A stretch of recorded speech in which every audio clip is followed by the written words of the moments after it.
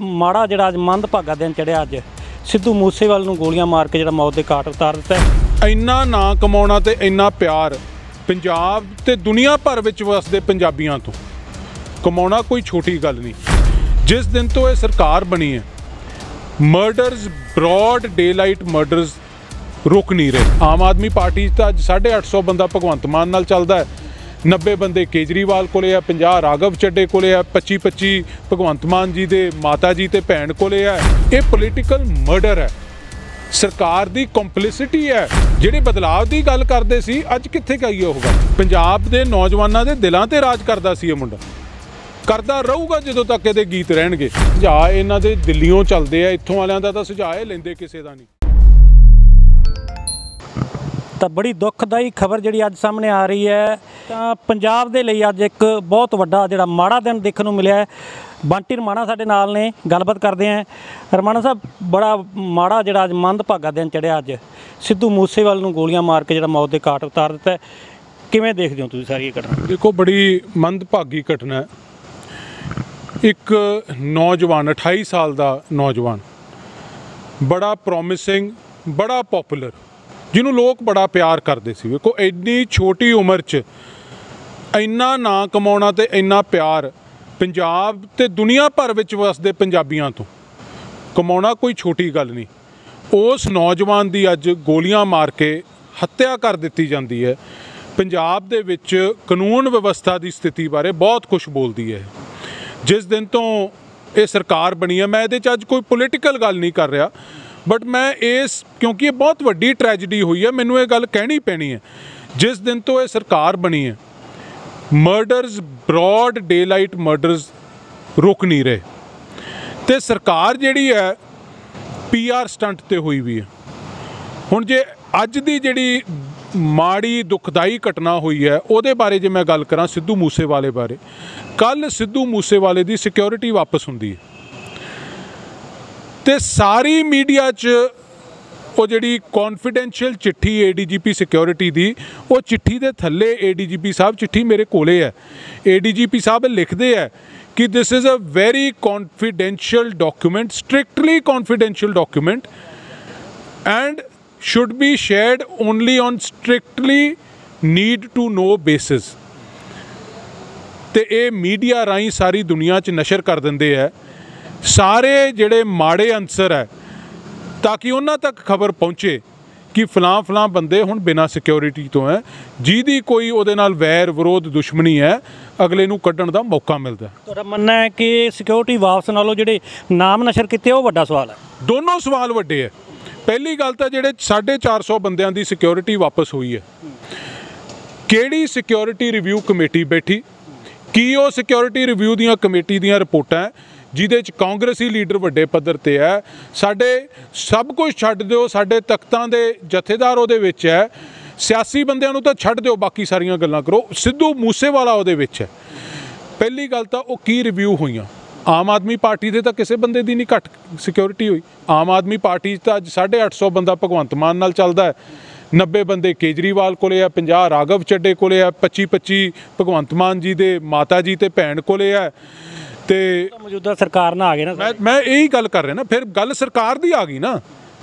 ਜਿਹੜੇ ਬਦਲਾਅ ਦੀ ਗੱਲ ਕਰਦੇ ਸੀ ਅੱਜ ਕਿੱਥੇ ਗਈ ਉਹ ਗੱਲ? ਮੈਂ ਇਹ ਗੱਲ ਕਰਦਾ ਪਹਿਲੀ ਗੱਲ ਤਾਂ ਕਿਹੜੀ ਸਿਕਿਉਰਿਟੀ ਦੀਆਂ ਰਿਵਿਊਜ਼ ਹੋਈਆਂ? ਦੂਸਰੀ ਗੱਲ ਸਿਕਿਉਰਿਟੀ ਤੁਸੀਂ ਵਾਪਸ ਲੈ ਲਈ ਚਲੋ। ਤੁਹਾਡਾ ਤੁਸੀਂ ਕਹਿੰਦੇ ਹੋ ਅਸੀਂ ਰਿਵਿਊ ਕੀਤੀ ਹੈ। ਫਿਰ ਮੈਂ ਇਹ ਸਵਾਲ ਪੁੱਛਣਾ ਚਾਹਣਾ ਹੈ ਉਹਨੂੰ ਪਬਲਿਕ ਨੌਲੇਜ ਕਰਨ ਦੀ ਕੀ ਲੋੜ ਪਈ? ਜਦੋਂ ਡੀਜੀਪੀ ਸਾਹਿਬ ਜਿਹੜੇ ਆਰਡਰ ਸਾਈਨ ਕਰਦੇ ਹੋ ਸਿਕਿਉਰਿਟੀ ਵਾਪਸ ਲੈਣ ਦੇ, ਉਹਦੇ ਤੇ ਲਿਖਦੇ ਆ ਕਿ it is a highly strictly confidential document ਫਿਰ ਤੁਸੀਂ ਉਹਨੂੰ ਮੀਡੀਆ ਨੂੰ ਕਿਹਦੇ ਆਰਡਰਾਂ ਨਾਲ ਰਿਲੀਜ਼ ਹੋਇਆ ਉਹ? ਇਹ ਪੋਲੀਟੀਕਲ ਮਰਡਰ ਹੈ। ਸਰਕਾਰ ਦੀ ਕੰਪਲਿਸਿਟੀ ਹੈ।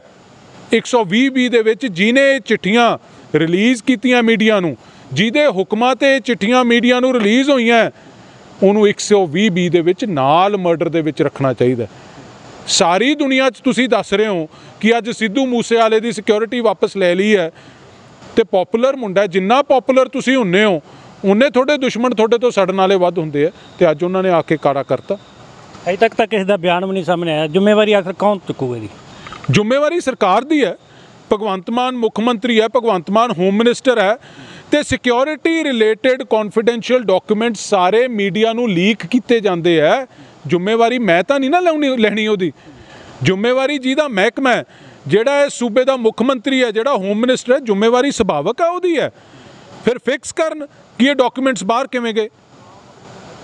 ਰਮਾਣਾ ਸਾਹਿਬ, ਇਹਨੂੰ ਆਪਾਂ ਹੋਰ ਵੀ ਇੱਕ ਪਹਿਲੂ ਦੇ ਨਾਲ ਦੇਖਿਆ ਜਾਂਦਾ, ਕਿਉਂਕਿ ਜਦੋਂ ਦੀਪ ਸਿੱਧੂ ਦਾ ਮਰਡਰ ਹੁੰਦਾ ਹੈ ਮਰਡਰ ਕਹਿ ਲਈਏ ਜਾਂ ਆਪਾਂ ਨੂੰ ਐਕਸੀਡੈਂਟ ਕਹਿ ਲਈਏ, ਉਸ ਤੋਂ ਪਹਿਲਾਂ ਵੀ ਇੱਕ ਇਹ ਗੱਲ ਸਾਹਮਣੇ ਆਈ ਸੀ ਕਿ ਦੀਪ ਸਿੱਧੂ ਨੇ ਕਿਹਾ ਸੀਗਾ ਕਿ ਮੈਂ ਸਿਮਰਜੀਤ ਸਿੰਘ ਮਾਨ ਦੀ ਮਦਦ ਕਰਾਂਗੇ।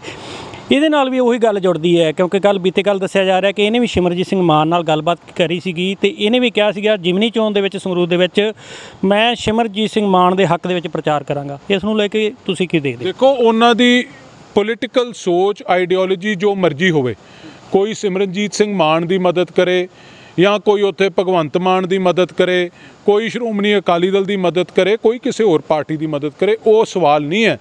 ਸਵਾਲ ਹੈ, ਅੱਜ ਪੰਜਾਬ ਦੀ ਕਾਨੂੰਨ ਵਿਵਸਥਾ ਕਿੱਥੇ ਖੜੀ ਹੈ?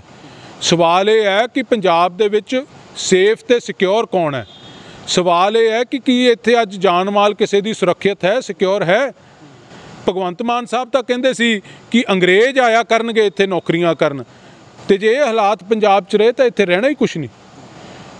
ਇਹਨੂੰ ਸੀਰੀਅਸਲੀ ਸਰਕਾਰ ਵਾਸਤੇ ਨਾ ਫੋਕੀ ਸ਼ੋਹਰਤ ਚੀਪ ਪਬਲਿਸਿਟੀ ਜਿਹਨੂੰ ਅੰਗਰੇਜ਼ੀ 'ਚ ਕਹਿ ਦਿੰਦੇ ਆ ਪੀਆਰ ਸਟੰਟ ਸਭ ਕੁਝ ਇਸ ਦਾਇਰੇ 'ਚ ਰਹਿ ਗਿਆ। ਸਿਕਿਉਰਿਟੀ ਕਿਸੇ ਦਾ ਗਨਮੈਨ ਇੱਕ ਵਾਪਸ ਲੈ ਲਿਆ ਤੇ ਸਾਰੇ ਮੁਲਕ 'ਚ ਤੁਸੀਂ ਢੰਡੋਰਾ ਪੁੱਟ ਰਹੇ ਹੋ, ਇਹ ਵੀ ਦੱਸ ਦਿਓ ਤੁਹਾਡੇ ਬੰਦਿਆਂ ਦੇ ਮੋਢਿਆਂ ਤੇ ਕਿੰਨੇ ਕਿੰਨੇ ਬਲੈਕ ਕੈਟ ਚੜੇ ਫਿਰਦੇ ਆ। ਸੋ ਇੱਕ ਪੀਆਰ ਸਟੰਟ ਜਿੰਨਾ ਚਿਰ ਇਹ ਸਰਕਾਰ ਸੀਰੀਅਸ ਨਹੀਂ ਹੁੰਦੀ, ਇਹ ਸਰਕਾਰ ਦੇ ਵੱਸ ਦੀ ਨਹੀਂ ਰਹੀ ਕਾਨੂੰਨ ਵਿਵਸਥਾ ਇੱਥੋਂ ਦੀ। ਇਹ ਜਿੰਨਾ ਚਿਰ ਇਹ ਹਾਲਾਤ ਬਣਦੇ ਰਹਿਣਗੇ ਇਦੋਂ ਵੱਡੇ ਕਾਰੇ ਵਾਪਰਨਗੇ ਪੰਜਾਬ 'ਚ ਮੈਂ ਅੱਜ ਤੁਹਾਨੂੰ ਦੱਸ ਰਿਹਾ। ਰਮਾਨ ਸਾਹਿਬ ਜਿਵੇਂ ਜਿੰਨੇ ਸੈਲੀਬ੍ਰਿਟੀ ਮੜਾ ਜਦੋਂ ਪਪੂਲਰ ਹੁੰਦੇ ਆ ਉਹ ਜਾਂ ਤਾਂ ਕਿਤੇ ਤਗੜੇ ਸ਼ਹਿਰਾਂ ਦੇ ਵਿੱਚ ਜਾ ਕੇ ਆਪਦਾ ਨਿਵਾਸ ਕਰ ਲੈਂਦੇ ਆ ਜਾਂ ਬੰਬੇ ਨੂੰ ਜਾਂਦੇ ਆ। ਤੇ ਇੱਕੋ ਇੱਕ ਵਿਅਕਤੀ ਸੀ ਪੰਜਾਬ ਦਾ ਇੰਨਾ ਨਾਮ ਪੂਰੀ ਦੁਨੀਆ ਦੇ ਵਿੱਚ ਕਮਾਇਆ ਸੀਗਾ ਪਰ ਪਿੰਡ ਦੇ ਵਿੱਚ ਇਹਨੇ ਆਪਦੀ ਕੋਠੀ ਜ਼ਰੂਰ ਪਾਲੀ ਸੀ ਪਰ ਪਿੰਡ ਛੱਡਣ ਤੱਕ ਦੀ ਇਹਨੇ ਲੋੜ ਨਹੀਂ ਸਮਝੀ ਵੀ ਮੈਂ ਬਾਹਰ ਜਾਵੜਾ ਹੋ ਸਕਦਾ ਅੱਜ ਉਹਨਾਂ ਵਾਂਗੂ ਬੰਬੇ ਬੈਠਾ ਹੁੰਦਾ ਵੱਡੇ ਸ਼ਹਿਰਾਂ 'ਚ ਬੈਠਾ ਅੱਜ ਜਾਨ ਨਾ ਜਾਂਦੀ। ਦੇਖੋ ਬੜੀ ਟ੍ਰੈਜੇਡੀ ਹੈ ਜੀ। ਇੱਕ ਗੱਲ ਤਾਂ ਐਡਾ ਨੌਜਵਾਨ, ਜਿਵੇਂ ਮੈਂ ਤੁਹਾਨੂੰ ਦੱਸਿਆ, ਹੋਣਹਾਰ ਨੌਜਵਾਨ ਤੇ ਮਿੱਟੀ ਨਾਲ, ਜ਼ਮੀਨ ਨਾਲ ਜੁੜਿਆ ਨੌਜਵਾਨ, ਜਿਵੇਂ ਤੁਸੀਂ ਜ਼ਿਕਰ ਕੀਤਾ ਕਿ ਆਪਦੇ ਪਿੰਡ 'ਚ ਰਹਿੰਦਾ ਸੀ। ਗੱਲ ਤਾਂ ਤੁਸੀਂ ਵੀ ਉਹੀ ਕੀਤੀ ਨਾ, ਕਿ ਜੇ ਪੰਜਾਬ 'ਚੋਂ ਬਾਹਰ ਚਲੇ ਜਾਂਦਾ ਤਾਂ ਸ਼ਾਇਦ ਇਹਦੀ ਜਾਨ ਬਚ ਜਾਂਦੀ। ਸੋ ਇਹਦਾ ਮਤਲਬ ਇਹੀ ਹੈ ਕਿ ਜਿਹੜਾ ਪੰਜਾਬ 'ਚ ਉਹਦੀ ਜਾਨ ਸਿਕਿਉਰ ਨਹੀਂ ਹੈ। ਬੰਬੇ ਚਲੇ ਜਾਂਦਾ, ਦਿੱਲੀ ਚਲੇ ਜਾਂਦਾ, ਕੈਨੇਡਾ ਚਲੇ ਜਾਂਦਾ, ਸ਼ਾਇਦ ਜਾਨ ਬਚ ਜਾਂਦੀ। ਉੱਥੇ ਕੋਈ ਇਹਦੀ ਸਿਕਿਉਰਿਟੀ ਨਾਲ ਐ ਖਿਲਵਾੜ ਨਾ ਕਰਦਾ। ਪਰ ਇਹਦੀ ਜ਼ਿੰਮੇਵਾਰੀ ਤਾਂ ਫਿਕਸ ਕਰਨੀ ਪਊਗੀ ਨਾ ਇਹਦੀ ਰਿਸਪੌਂਸਿਬਿਲਟੀ ਕੌਣ ਲਊਗਾ? ਇਹ ਕੋਈ ਛੋਟੀ ਗੱਲ ਨਹੀਂ ਹੈ। ਪੰਜਾਬ ਦੇ ਨੌਜਵਾਨਾਂ ਦੇ ਦਿਲਾਂ ਤੇ ਰਾਜ ਕਰਦਾ ਸੀ ਇਹ ਮੁੰਡਾ। ਕਰਦਾ ਰਹੂਗਾ ਜਦੋਂ ਤੱਕ ਇਹਦੇ ਗੀਤ ਰਹਿਣਗੇ। ਪਰ ਇਹਦੀ ਜ਼ਿੰਮੇਵਾਰੀ ਜ਼ਰੂਰ ਫਿਕਸ ਕਰਨੀ ਚਾਹੀਦੀ। ਰਮਨ ਸਾਹਿਬ ਅ, ਜਿਹੜੀਆਂ ਸਿਕਿਉਰਿਟੀ ਦੀ ਗੱਲ ਹੈ ਸਿਕਿਉਰਿਟੀਆਂ ਤਾਂ ਉਹਨੇ ਰਾਜਨੀਤਿਕ ਲੋਕਾਂ ਤੋਂ ਵੀ ਬਹੁਤ ਵਾਪਸ ਲਈਆਂ ਹੈ। ਪੁਲਿਸ ਦੇ ਅਫਸਰ ਉਹਨਾਂ ਤੋਂ ਵੀ ਵਾਪਸ ਲਈਆਂ ਹੋਰ ਵੀ ਜਿਹੜੇ ਲੋਕ ਉਹਨਾਂ ਤੋਂ ਵਾਪਸ ਲਈਆਂ ਜਿਵੇਂ ਅੱਜ ਸ਼ਹਿਨਾਜ਼ ਜਿਹੜੇ ਗਿੱਲ ਹੈਗੇ ਉਹਨਾਂ ਦੇ ਪਿਤਾ ਉਹਨੇ ਵੀ ਜ਼ਾਹਰ ਕੀਤਾ ਹੈ ਕਿ ਮੈਨੂੰ ਵੀ ਖਤਰਾ ਹੈ ਜਿਹਦੀ ਜ਼ਿੰਮੇਵਾਰੀ ਭਗਵੰਤ ਮਾਨ ਦੀ ਹੋਊਗੀ।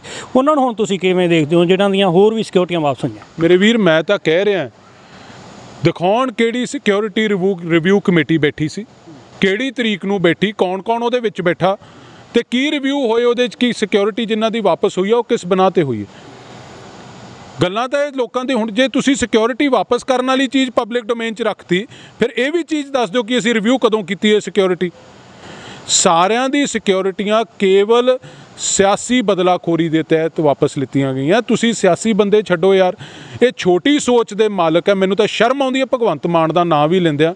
ਸਾਡੇ ਤਖਤਾਂ ਦੇ ਜਥੇਦਾਰ, ਜਿਨ੍ਹਾਂ ਨੂੰ ਸਿੱਖ ਪੰਥ ਮੈਂ ਕਹਿੰਦਾ ਕਿ ਦੁਨੀਆ ਭਰ ਵਿੱਚ ਬੈ- ਬੈਠੇ ਸਿੱਖ ਅਦਬ ਸਤਕਾਰ ਤੇ ਨਿਉ ਕੇ ਮਤਲਬ ਉਹਨਾਂ ਦਾ ਨਾਂ ਲੈਂਦੇ ਆ। ਇੰਨਾ ਸਤਕਾਰ ਕਰਦੇ ਆ ਇਹਨਾਂ ਨੇ ਤਾਂ ਉਹਨਾਂ ਦੀ ਸਿਕਿਉਰਿਟੀ ਵੀ ਵਾਪਸ ਲੈ ਲਈ। ਤੇ ਮੁੜ ਕੇ ਫਿਰ ਜਦੋਂ ਲੋਕਾਂ ਦਾ ਰਿਐਕਸ਼ਨ ਆਇਆ ਫਿਰ ਕਹਿੰਦੇ ਅਸੀਂ ਦਿੰਨੇ ਹਾਂ, ਹੁਣ ਸਿੰਘ ਸਾਹਿਬ ਨਹੀਂ ਲੈਂਦੇ। ਸਿੰਘ ਸਾਹਿਬ ਦੀ ਸਿਕਿਉਰਿਟੀ ਸਿੰਘ ਸਾਹਿਬ ਦੀ ਸੁਰੱਖਿਆ ਵਾਹਿਗੁਰੂ ਤੇ ਕੌਮ ਦੇ ਨੌਜਵਾਨ ਕਰਨ ਦੇ ਸਮਰੱਥ ਨੇ। ਲਾਸਟ ਸਵਾਲ ਹੈ, ਫਿਰ ਵੀ ਤੁਸੀਂ ਕਿਉਂਕਿ ਜਿਹੜਾ ਯੂਥ ਅਕਾਲੀ ਦਲ ਦੇ ਜਿਹੜੇ ਪੰਜਾਬ ਦੇ ਪ੍ਰਧਾਨ ਹੋ, ਫਿਰ ਵੀ ਤੁਸੀਂ ਆਪ ਦੇ ਵੱਲੋਂ ਜਿਹੜੀ ਕੋਈ ਸਰਕਾਰ ਨੂੰ ਕੋਈ ਅਪੀਲ, ਦਲੀਲ, ਕੋਈ ਆਪ ਦੇ ਵੱਲੋਂ ਦਿਓਗੇ, ਸੁਝਾਅ ਦਿਓਗੇ ਵੀ ਆਉਣ ਵਾਲੇ ਸਮੇਂ ਦੇ ਵਿੱਚ ਇਹ ਦਿਨ, ਅਜਿਹਾ ਦਿਨ ਨਾ ਕੋਈ ਦੇਖਣਾ ਪਵੇ? ਮੈਂ ਤਾਂ ਸਰਕਾਰ ਨੂੰ ਤਾਂ ਕੀ ਅਪੀਲ, ਦਲੀਲ, ਸੁਝਾਅ ਦੇਵਾਂ? ਸੁਝਾਅ ਇਹਨਾਂ ਦੇ ਦਿੱਲੀੋਂ ਚੱਲਦੇ ਆ, ਇੱਥੋਂ ਵਾਲਿਆਂ ਦਾ ਤਾਂ ਸੁਝਾਅ ਇਹ ਲੈਂਦੇ ਕਿਸੇ ਦਾ ਨਹੀਂ। ਹਾਂ, ਪਰ ਪ੍ਰਮਾਤਮਾ ਦੇ ਚਰਨਾਂ 'ਚ ਅਰਦਾਸ ਬੇਨਤੀ ਜ਼ਰੂਰ ਕਰੂੰਗਾ ਕਿ ਇਹ ਪ੍ਰਮਾਤਮਾ ਕਿਰਪਾ ਕਰੀ ਅੱਜ ਇੱਕ ਨੌਜਵਾਨ ਚਲੇ ਗਿਆ, ਕਿਸੇ ਮਾਂ ਦਾ ਪੁੱਤ ਗਿਆ, ਕਿਸੇ ਭੈਣ ਦਾ, ਭਰਾ ਦਾ, ਭਰਾ ਵੱਡਾ, ਛੋਟਾ ਭਰਾ ਚਲੇ ਗਿਆ। ਲੱਖਾਂ ਨੌਜਵਾਨਾਂ, ਨੌਜਵਾਨ ਜਿਹਨੂੰ ਪਿਆਰ ਕਰਦੇ ਸੀ, ਉਹ ਇਨਸਾਨ ਚਲੇ ਗਿਆ।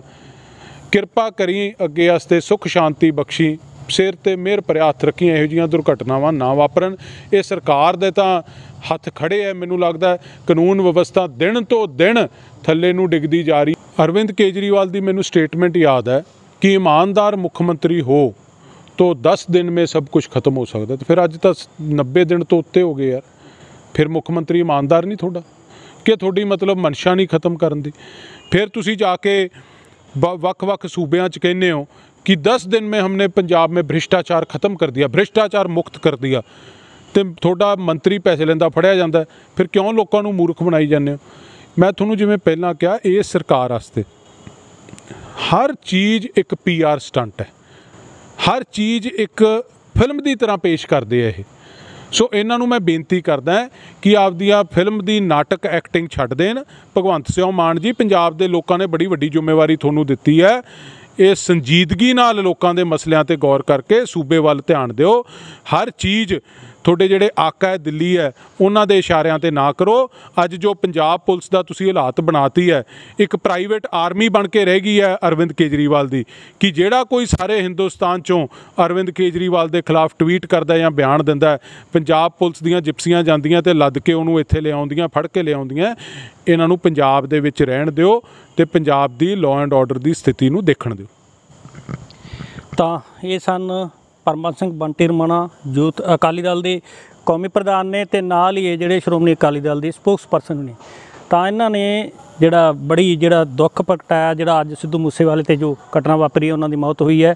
ਤਾਂ ਉਸ ਨੂੰ ਲੈ ਕੇ ਵੱਡੇ ਸਵਾਲ ਖੜੇ ਆ ਜਿਹੜੀ ਮੌਜੂਦਾ ਆਮ ਆਦਮੀ ਪਾਰਟੀ ਦੀ ਸਰਕਾਰ ਤੇ। ਕਿ ਸਿਰਫ ਤੇ ਸਿਰਫ ਜਿਹੜੀ ਸਰਕਾਰ ਜ਼ਿੰਮੇਵਾਰ ਹੈ ਜੇਕਰ ਸਿਕਿਉਰਟੀਆਂ ਵਾਪਸ ਲਈਆਂ, ਕਿਉਂ ਵਾਪਸ ਲਈਆਂ, ਕਿਹਦੇ ਵੱਲੋਂ ਸਲਾਹਾਂ ਦਿੱਤੀਆਂ ਗਈਆਂ ਸੀਗੀਆਂ, ਇਹ ਜਿਹੜਾ ਸਭ ਤੋਂ ਵੱਡਾ ਸਵਾਲ ਹੈ। Gurjit Singh Ramana D5 channel Punjabi Faridkot. ਹੋਏਗੀ ਕਿਸਾਨਾਂ ਦੀ ਗੱਲ ਨਵੀਂ ਖੇਤੀ ਮਸ਼ੀਨਾਂ ਬੀਜਾਂ ਤੇ ਬਾਗਾਂ ਦੀ ਗੱਲ। ਲੈ ਕੇ ਚੱਲਾਂਗੇ ਤੁਹਾਨੂੰ ਰੰਗਲੇ ਪੰਜਾਬ ਦੇ ਖੇਤਾਂ ਵੱਲ। ਦੇਖਣਾ ਨਾ ਭੁੱਲਣਾ ਸਾਡਾ ਖਾਸ programme farming with Amarjit Waraich. ਸੋਮਵਾਰ ਤੋਂ ਸ਼ੁੱਕਰਵਾਰ ਸ਼ਾਮ 6 ਵਜੇ D5 ਚੈਨਲ ਪੰਜਾਬੀ ਤੇ। ਕੀ ਹੁੰਦੀ ਹੈ ਜਮਾਬੰਦੀ? ਕਿਵੇਂ ਬਣਦੀ ਹੈ ਵਸੀਅਤ? ਜ਼ਮੀਨ ਜਾਇਦਾਦ ਦੇ ਹਰ ਮਸਲੇ ਤੇ ਕਰਾਂਗੇ ਚਰਚਾ।